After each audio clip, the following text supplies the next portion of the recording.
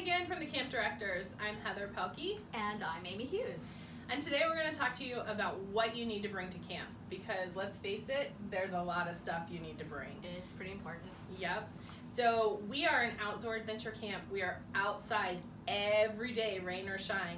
And we have a saying around here that if it is raining, we call it liquid sunshine. So be prepared, bring your raincoats on rain days. Yes. And every day you need to bring Bug spray, sunblock, swimsuit, towel, water bottle, lunch, snack. and with the lunch and snack, there should be an ice pack in that bag because it's outside and it's hot. mm, oh, Mm. creek shoes. Creek shoes, and they stay here, folks, so those aren't schlepping back and forth every day. It'd be a lot of work. Um, some of our younger campers are gonna need a change of clothes to leave here, including socks and underwear. Those are super important because if they fall in the creek when they go creaking, they're gonna want some dry undies.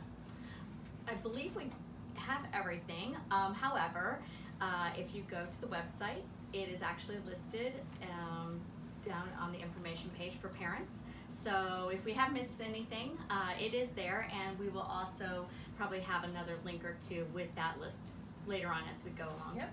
And it's important for parents to get the kids involved when they're packing those backpacks to come to camp so the kids know what they're bringing.